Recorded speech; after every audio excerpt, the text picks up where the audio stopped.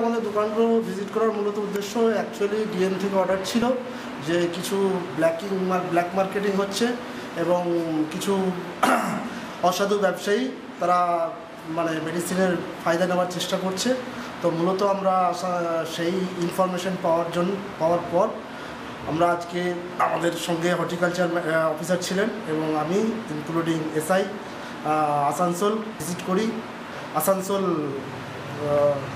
District হসপিটালের আশেপাশে এবং সেখান থেকে আমরা চার, পাঁচটা দোকান ভিজিট করেছি এবং সেখানে আমাদের যে দশটা এসেন্সিয়াল মেডিসিন আছে, সেগুলো মোটামুটি দেখা যাচ্ছে যে শর্টেজ নেই।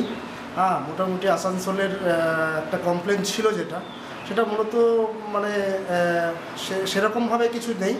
তবে আমি তাদের ঘর আশ্বাস দিয়েছি, যদি কোনো প্রয়োজন হয়, কোনো অসুবিধা হয় ইমিডিয়েট আমাকে কন্ট্যাক্ট করতে, এখানকার নোডাল অফিসার হিসাবে বা এজ এ ড্রাগ ইন্সপেক্টর হিসাবে।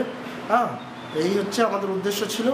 বাকি মানুষ একটা আতঙ্কে ভুগছে যে মেডিসিন মার্কেটে শর্টেজ আছে, সেটা অলরেডি এটা একটা মানে প্যানিক মার্কেটিং মার্কেটে কোনো মেডিসিন শর্টেজ এখন অবধি নেই। আমি সব দোকানদারদেরকে আশ্বাস দিয়েছি, যদি তাদের মাল শর্টেজ হয়, এই এসেন্সিয়াল ড্রাগসগুলো তাদের আমি কন্ট্যাক্ট নাম্বার দিয়েছি ডাইরেক্ট আমাকে কন্ট্যাক্ট করতে বলেছি। আমার দায়িত্ব সেটা হচ্ছে অ্যাভেলেবেল করানো।